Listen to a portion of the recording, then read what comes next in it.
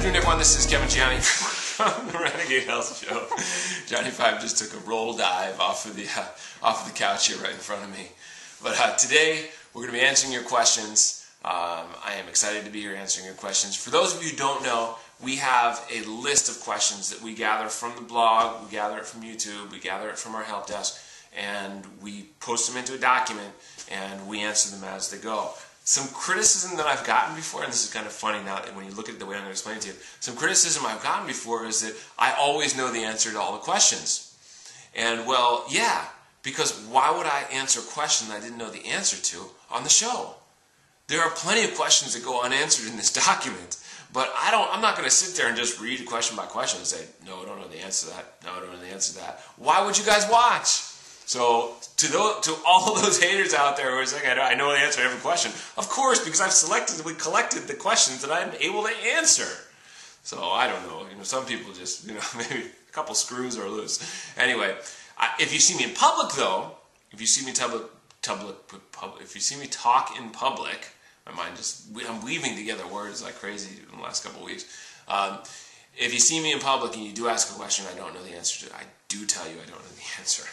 Anyway, all right, so let's get into it. First question from Roy. Do you happen to know of a simple cure for Lyme disease? I've not been tested. Possibly, do you know a proper test for that? Okay, so so when I first got Lyme disease, I purchased all the books on Lyme that I could find, six, seven, eight, nine books on Lyme disease, and I read through all of them. And basically, consensus in terms of Lyme, in terms of testing, is that the Western blot test, which is used the most, is not very accurate. The best way to know if you have Lyme disease if you get bit by a tick and you get the big old rash, which is called an EM.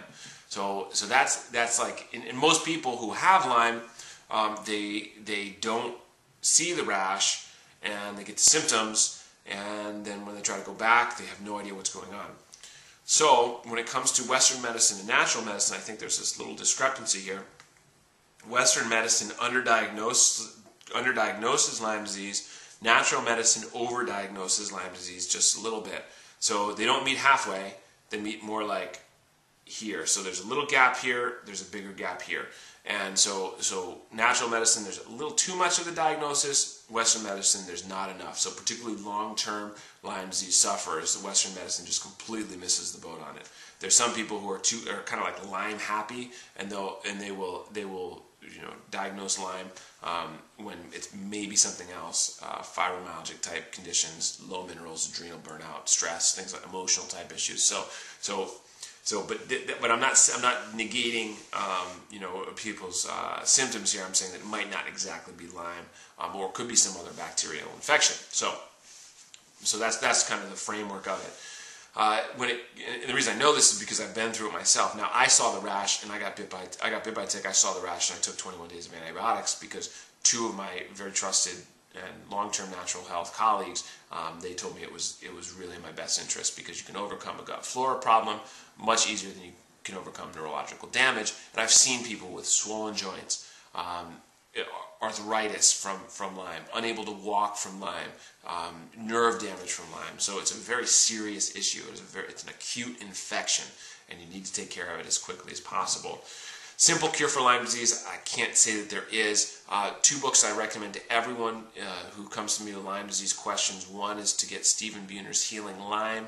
Uh, that's a great book about herbal approaches to help boost your immune system. The second uh, book is uh, Bryan Rosner's Top 10 Lyme Treatments. This outlines 10 different Lyme treatments. He had Lyme himself. This is what he explored.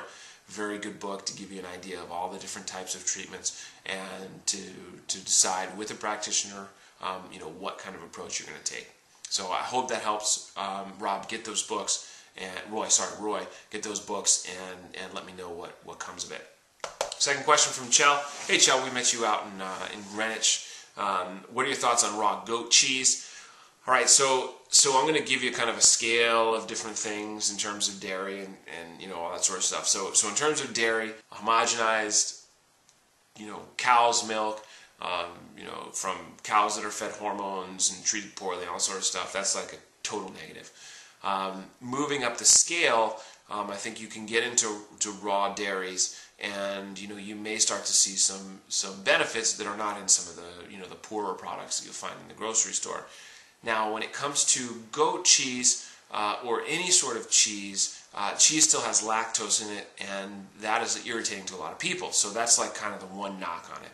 The second knock on it is it's concentrated, so there tends to be more caseomorphines in it, and these are, are morphine type compounds that will make you go back and want more cheese. So it's not just an emotional attachment to cheese. There's this there's this physiological attachment to cheese. There's an addiction to it that's not just emotional.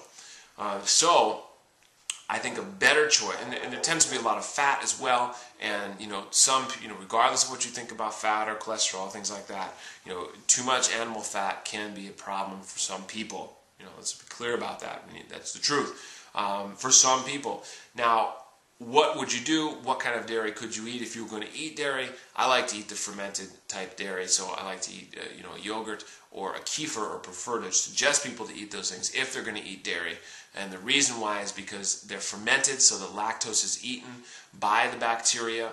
The the protein is partially digested by the bacteria, um, was breaking the, the food the, the protein down into some amino acids um, as well as uh, allowing the minerals to be more easily absorbed and the, the metabolic um, result of the, back, the, the, the fermentation um, releases B vitamins um, and other compounds that are really beneficial for your immune system as well. So fermented food by far, fermented dairy is going to be better than a goat cheese. Just my thoughts, you know, if you're vegan, don't need to eat it. Um, you know, there, there are plenty of cultures who have lived very long without eating dairy. There's some cultures that have lived very long while eating dairy. So, so you know, either side, take your pick, decide what you want, and move on from there. Last question here is from Summer or Maz. I don't know which one, Maz or Summer. But uh, I, I train twice a day. That's a lot of time. That's a lot. Wow. Oh, I'm attending circus school. That sounds pretty cool. Uh, the training consists of a lot of pull-ups, dips, front and back, lever work, etc. As you can guess, I need a lot of energy and strength. You totally do. Discovered that I'm allergic to wheat and dairy and some meats. That's probably a good thing. Um, I was wondering if a high raw diet would be good. Would be a good diet for this. I don't want to lose any strength and energy. Okay, so high raw diet is is really good for athletes. And if you're training this much, much, my biggest concern is I want to make sure you get enough calories. When it comes to like a really high raw diet, like or even a 100% raw food diet, what I found is that athletes do really well for a period of time, whether it's one year, two years, three years, five years, and then they, they're they're doing well, and the performance starts to decline a little bit. Um, this is this is generally some people excel, but this is generally, and some and some of them start to have deficiencies. Some of them get irritable. Some of them seem to lose their mind. Um, I've just seen this happen over time. So what I would want you to do is experiment with the high, raw diet, but make sure that you're getting enough calories. Um, you know, it's up to you whether it's from fruit, whether it's from carbohydrates, whether it's from protein. Just make sure you're getting enough carbohydrates to make sure you can sustain your energy and make sure you're getting enough minerals. Uh, there have been a few athletes that I've talked to who have done this raw food diet. They've really loved it and they got great work, great performance from it. But then they started testing their minerals and they realized that their minerals were really low. And over time, that starts to interfere with your ability to, to move and function smoothly and efficiently and quickly like an athlete should. So, with all that said, again, back to calories. Make sure you're getting enough calories. Make sure you're eating enough food, and then you know, and, roll with it, and be willing to be flexible. And you're probably going to find the sweet the sweet spot for you, and everything's going to work out. So, good luck to you, and good luck with circus school. That sounds so cool. Your question of the day is this: Have you ever been to circus school? Go ahead and post it down below. If not, what's the craziest athletic thing you've ever done? Go ahead and post that down below. This is Kevin Gianni from the Renegade Health Show. Together we change the health of the world, one show at a time.